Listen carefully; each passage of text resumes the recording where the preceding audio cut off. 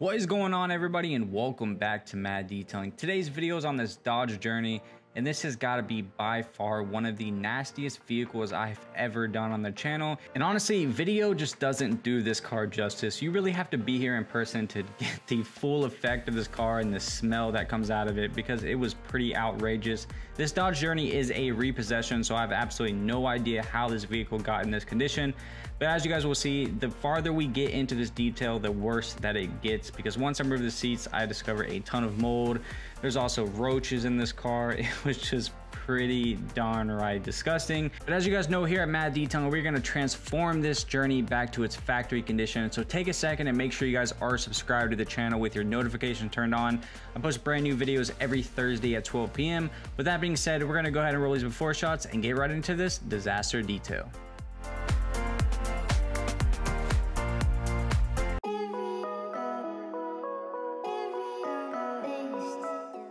And after getting the seeds removed, you can definitely see what I was talking about with the mold. And I actually found some green macaroni in the back, which is pretty disgusting. I don't know how long it's been there. But starting off this detail, we're gonna start with getting all the trash removed, anything that is too big to be sucked by the vacuum. And then we're gonna go ahead and give this carpet a good pre-vacuum before getting it pulled out of the vehicle to reveal the thousands of roach eggs that are hiding underneath the carpet.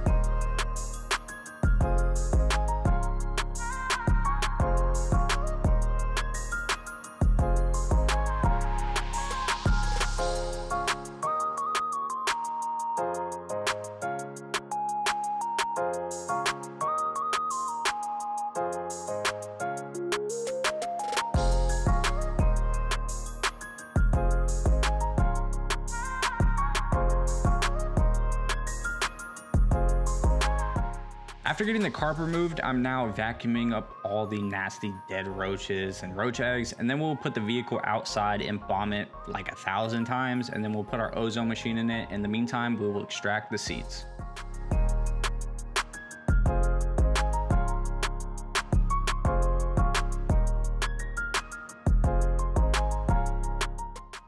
Moving on to seat extraction, I'm using our Mad Detailing Extreme APC as a cleaner, followed by a Milwaukee drill with a drill brush attachment. And for the extractor, I'm using my Mytee HP60 hot water extractor. And I will also repeat this process multiple times because the seats definitely needed the love and attention that I gave them. And my Mytee extractor was sitting there crying the whole entire time. This thing got ran for probably 10 hours straight doing these seats. And as you guys will see, some of the plastics are still dirty. And that's just because I don't normally clean those on camera because if I did, it would be like a five hour long video. So let me know down in the comments because there's a few things that I don't film. Do you guys want to see an entire detail, like from start to finish, cleaning every single inch? Or do you guys like the videos how they are? Leave me a comment down below because I would love for your feedback.